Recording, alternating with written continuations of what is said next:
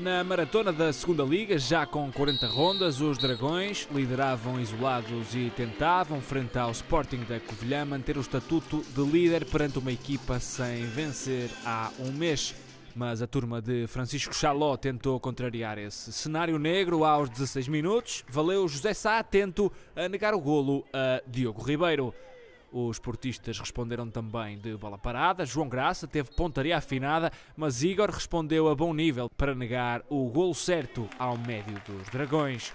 Defesa difícil do número 1 um, Serrano, que adiou 5 minutos o golo azul e branco, onde o próprio guarda-redes não fica isento de culpas. Bola longa de Verdasca, Massaia e Igor não comunicaram. Leonardo Ruiz passou entre a confusão e lucrou com o erro, que não hesitou em transformar em golo oitavo na Liga do colombiano. Oportunista que entrou no 11 por ausência de André Silva e não desperdiçou a ocasião de se mostrar. 1-0 ao intervalo, vantagem do Futebol Clube do Porto B. Os portistas que na segunda parte tiveram que tirar o fato e gravata e vestir a roupa do trabalho, isto porque Omar Gouveia viu o segundo amarelo aos 74 minutos neste lance.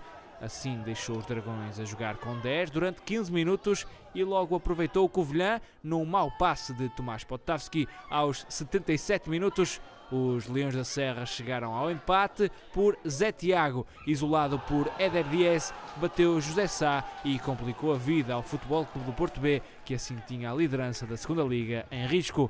Apenas com 10, Luís Castro arriscou e lançou Ruben Macedo e Cláudio para a frente, que aproveitaram para, aos 93 minutos, dar a vitória aos Dragões. Cruzamento de Cláudio e Ruben Macedo na zona do penalti a carimbar os três pontos Festa enorme no estádio de Pedroso. Cláudio inventou uma jogada que parecia inofensiva. Ruben aguentou o Futebol do Porto B na liderança isolada da Segunda Liga pela 33ª jornada consecutiva com mais um ponto que o segundo classificado, o Desportivo de Chaves.